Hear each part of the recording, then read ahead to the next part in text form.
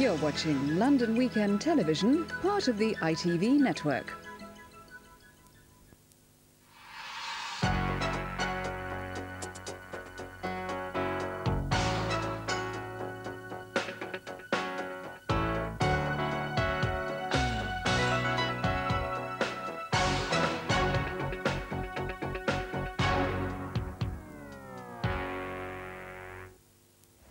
I'd like to welcome back to London someone who's slightly changed her name from Debbie to Deborah. Deborah Harry, hello. Hi. Welcome back to London. And how long is it since you've been here? Well, only a year. I was here last September when I recorded with Tom and Alannah from the Thompson Twins. The first time I met you was your presumably your first trip to London. Mm-hmm. Yeah, it was 1976. Yeah, and you, so you walked straight into the whole height of punk. Yeah, Mm. we are going to be looking at some of the videos, and I think what comes over is how innovative you've always been in terms of your look, which has been you know like copied. Do you think that as well? Yeah, I think I've been sort of uh, fortunate in, in making some good choices along the way. What were your influences? and What were the images that perhaps produced Debbie Harry? Well, I guess the most obvious ones are the, uh, you know, the, the fem, feminine, uh, femme fatale blonde, you know, cinema women. Um, I think that they had a great, great influence on, you know, my sort of blondie interpretation of that. I mean, there was all that business about um, Marilyn Monroe and the, the fantasy about being her daughter. I mean, that was an awful, there was a lot of publicity about that. I don't know whether any of it was true. Mm. No, I, I meant that in a very sort of flattering way. I think that I think that we're all children of, of those things, and that's how I meant it. And I think it was taken very literally. You didn't really think that you were Marilyn's Absolutely not. Good. I always wondered about that. It's a lovely thing. So it was a fantasy. yeah, I think so. I think that that's what those things are for, you know, so that we have fantasies and we can. I don't know. It just does something for you, Mm. fantasy. Yeah. To play Heart of Glass just brings back, I don't know what exact memory, but it's a good one. There was so much uh, controversy just within the band about doing that song, um, you know, because we, we wanted to do it with a rhythm machine, and our drummer went completely mad. I mean, Clem said, rhythm machine? What? You want me to play with a rhythm machine? What do you think I am? I'm never going to play this song. So, you know, Mike made him sit down and play the song. It took him two days to do those drum tracks, and, you know, he sat there and he was really, you know, so grueling, grueling thing. It was horrible. But uh, it, we ended up with that track, and uh, and then he swore he would never play it live. I'll never play this song live. And then the damn song went to be a hit.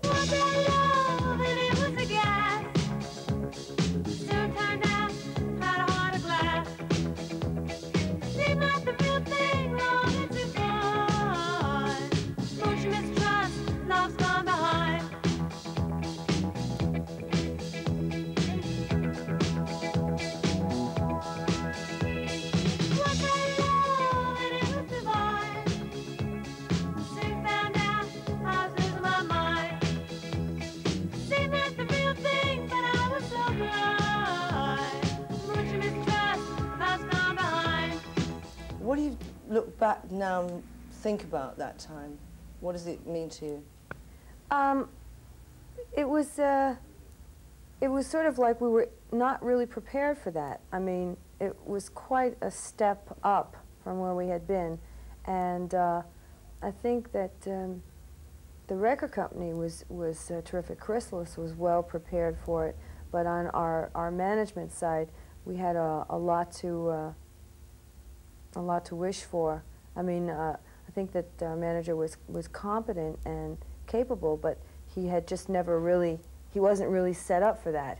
So it sort of took us all by surprise, and we were really, um, you know, thrust about by it. We were really forced out in, in a lot of ways that we weren't prepared for. And things probably you didn't like doing. Um, well, none of it was familiar, so it, it was sort of a rush. I, I don't know, uh, I guess the pace of it all was what was the hardest part of it, you know, just being sort of dragged around, you know, and being half dead all the time. But other than that, I mean, it, it- what could be bad about having, I mean, it's a thrilling point, and, and you know, just go with it. Blondie was the name of the band, but everyone thought of you as Blondie. Mm -hmm. So you must have thought of yourself as Blondie to a certain extent. Well, it was, I mean, I, it was my name, I thought of it, and it was my identity, and the, the reason that I used it was um, for those reasons, and then, and then it became, um, somehow, I don't know why it became problematic, but it became problematic about who was who and what was what, and is Blondie a group, and, I mean, no, Blondie was a grope, I don't know, Blondie was what it was, I, you know, it seemed pretty obvious to everyone, I don't know why it became a problem. Um, so, I can see it being a problem to male members of the band particularly. Mm. Well, they could have bleached their hair. Mhm. We all discussed that at one point, whether we should all bleach our hair. You did actually think about that? Absolutely. I said, come on, let's all bleach our hair. We could all be blondie. Mm. But I mean, you did have all the attention, uh, didn't you? I mean, Yeah, and plus the fact that I was the only woman in an all-male band, so that, I mean, it was just made it, I mean, I had to be blondie, so I was. Yeah, that's that, it, that is an eternal problem, isn't it? Being the singer in the band, you happen to be a girl and you happen to get all the attention. Mm. Well, wasn't bad for me. sure. I mean, but it creates problems with the rest of the band. I mean, I think singers always have that problem. I mean, Mm. uh, that's the, that's always what happens to bands is that the singer, of course, is the the spokesman and the and the the front person. Mm. Uh, I can't. Well, I, uh, there are some some situations that are different than that, but most bands are, are structured like that. Very much so. And then you get the other pattern, which you were also part of, where you have the singer, who's a girl, um, being involved with either the manager or more usually the guitarist. Mm-hmm. And then the rest of the band feel that they're ganging up on, you know, these two dominate the rest of it and they don't have any sort of say in the whole game. Absolutely. Uh, we tried to overcome that by making a, making the group um, a division. You know, I mean, everybody sort of shared in the profits, and it was like a real corporate entity. But I think that uh, when you're young, that that's very hard to uh, to think like that. You know, and and uh, being under the kind of enthusiasm and and the pressure and the success that came to us so quickly. You know, that, that sort of explodes bands anyway. I'm always saying there's no such thing as overnight success, but yours actually almost was. It came pretty quickly. After the certain elements were laid down, um, the recording, when we started really having a recording career, when we got to that point, um, that it really took off. And I mean, the, the members of that, ba- that band were greatly responsible for that. And um, when Chris and I were looking for people, we, we really chose charismatic, exciting people that were volatile. We didn't try to choose mm. sidemen. We chose people that were really, you know, mm. hot to go. And probably were going to be difficult. Yeah, and we And all were difficult. We were all difficult with one another. We were all difficult, you know, indep- independently. So, Really? yeah. Did you ever sort of say that at the time, or can you only really say that in retrospect? What do you mean that, That, that's that what you, we looked you were all fighting and you were all difficult with each other? Oh, we, we definitely were, were very destructive. Our, I think uh, the, one of those tours we were on, the, uh, the tour motto was "Wreck Everything," did you? uh, and the other, yes. Then you try to run, but you got a gun, and he shoots you dead, and he eats your head. And then you're in the man from Mars. You go out at night, eating cars. You eat Cadillacs,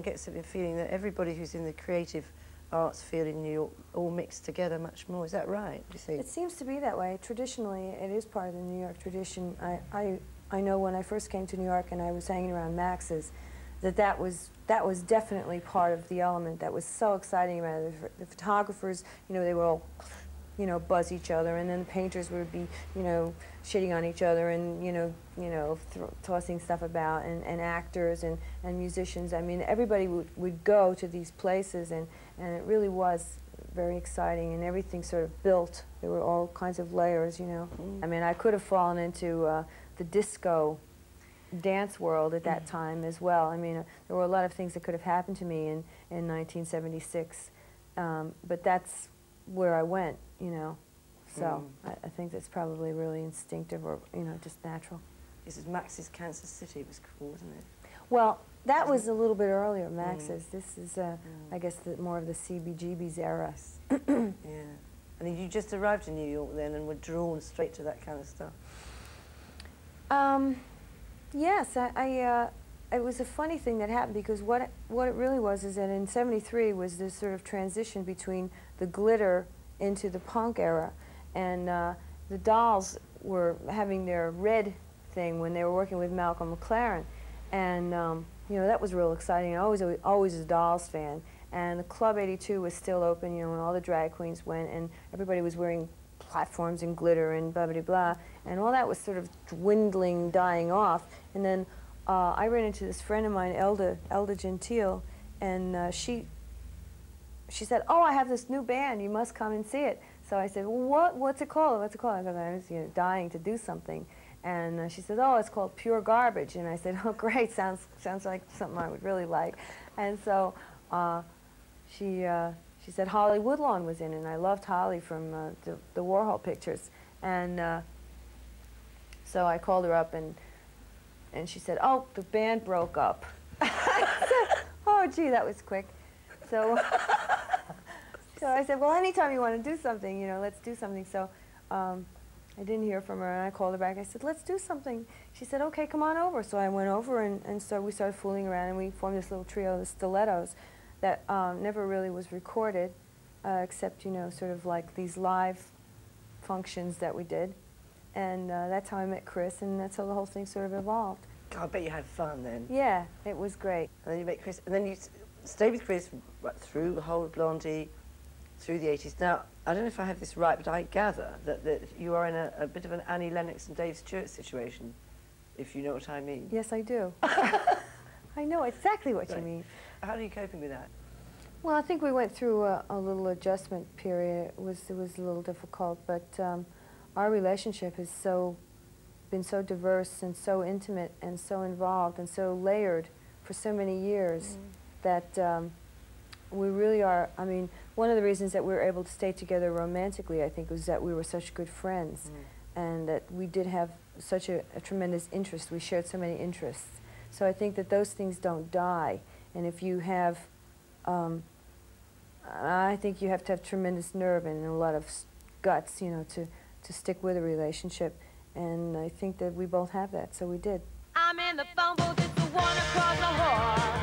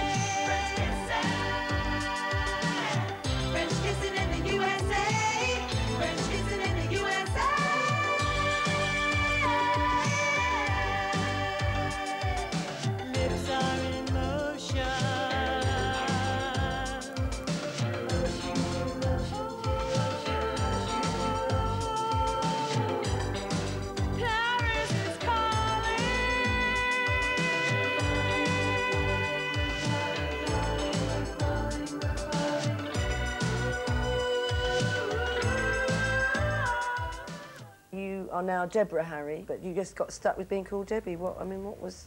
Well, the that's truth? the that's the uh, sort of nickname for Deborah. And as a kid, I really hated Deborah. I thought it was so formal, you Yeah. know, and so you know, and Debbie was just what I was called. So that sort of stuck. Mm. And then, uh, you know, I, I'm forced to use my real name on my passport. I don't know. I, I don't know. It just that's uh, sort of suddenly appealed to me that perhaps you know, um, Deborah was prettier than Debbie, and so I said, well, why don't we do that for a while? You know, we've done everything else. Listening to your voice on, on the new Deborah Harry album, I do not know why, but I thought you ought to do a Broadway musical. I mean, it may, may sound crazy, but has it ever crossed your mind? Uh, yeah, it has crossed my mind. And as a matter of fact, Andy used to always say that to me. He said, What, definitely. Warhol? Yeah, you should, you should do a musical. And I did do a musical. I did a British show that uh, they brought to New York. Uh, it was called Trafford Tanzi over here. And I did, I did do that show. You did Trafford Tanzi? Yeah, but in, in the States they called it Teaneck Tanzi. And uh, Christopher Bond directed. And um, it, we were in previews for three weeks. We ran for three weeks with audiences, and it was a real popular success. And then we opened, and the critics hated it. They slammed us to death, and we died instantly. Because that's what happens in New York, is the Yeah. they kill. How, how many nights did you do once it had been reviewed? One night. Opened eight. It's very, very, very tough. They open you and close you in one night. So that's what happened to old Teaneck Tanzi. Were you laughing about it? Were you upset at the time? I was really shocked. I thought, gee, this is great, you know, I, I love this. And I had no idea that that would happen. None whatsoever. I was just pig heaven, you know. I was just air, I'm wrestling and dancing and singing and running around. And then it, that happened, I was like really put into shock, you know. What sort of year was that that you, you did that? I think that was in uh, 80, wait, I don't know, 83, 82? Yeah.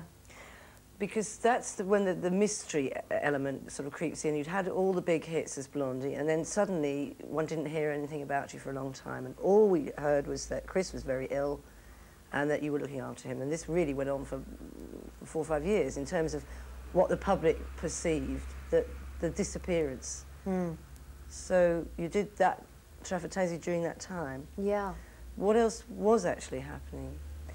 Well, I think that it was sort of, uh, um, the whole thing became sort of symptomatic of, of the business problems that we had and rearranging, you know, my, my career and, and taking a different look at things, Chris being sick.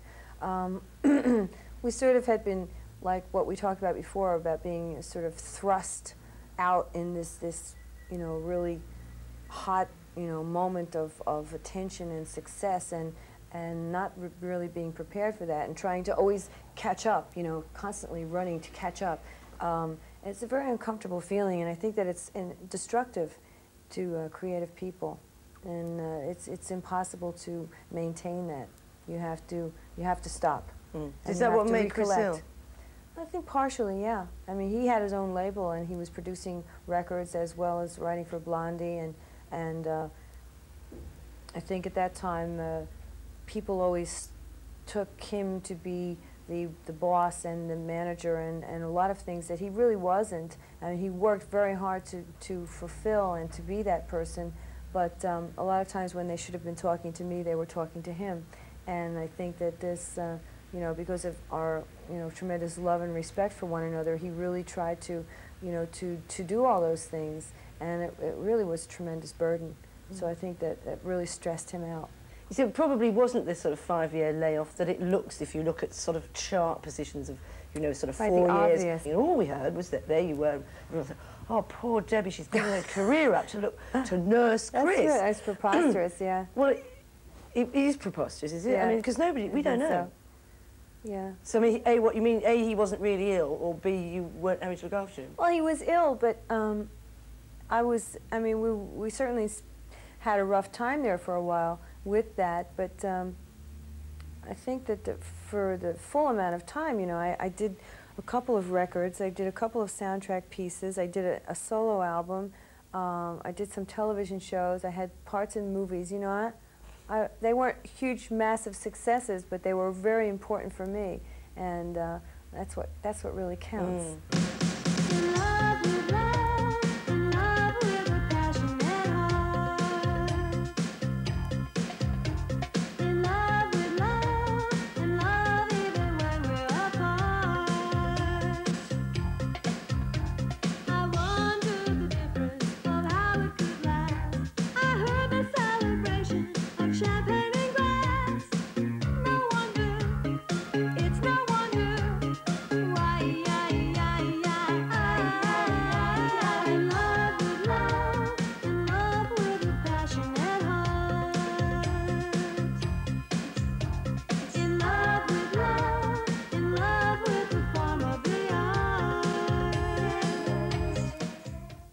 Party animal still or not? I don't know if I was ever really a party animal. I think that I've always sort of um, picked my shots, you know, about going out. Um, right now, I, actually, uh, in the past year, I've really been concentrating on, on you know, getting my career back together and working and, and trying to do some good work. And um, I'm very sort of obsessed now with, with being as creative as possible and um doing a lot of work and, and good work. I want to do something that really turns me on and, and um, I want to venture out into areas, you know, I want to do as much as I possibly can. I, I just read this uh, interview with, with De Niro and I thought, wow, really, that, right on Robert, you know, that's how I feel, you know. He says he's reached a certain age where he wants to, you know, make as much of his time as possible and he wants to do as much work as possible. And I guess I've sort of come to that same conclusion, you know. I feel really, uh, I, I don't know, I feel like all my um, places are in place, all my functions are in place, and I really feel, wow, I could do some great work now, and, and I'm looking forward to that. You feel really fueled then after that? Yeah. The album has a brilliant title, Deaf, D-E-F, Dumb and Blonde. It's a terrific title, I think. and Thank you. Did, did you. Was that yours? Yeah. I mean, I, it, it, it's fairly obvious to me what it means, but I don't know if. It, are you afraid it might get misinterpreted?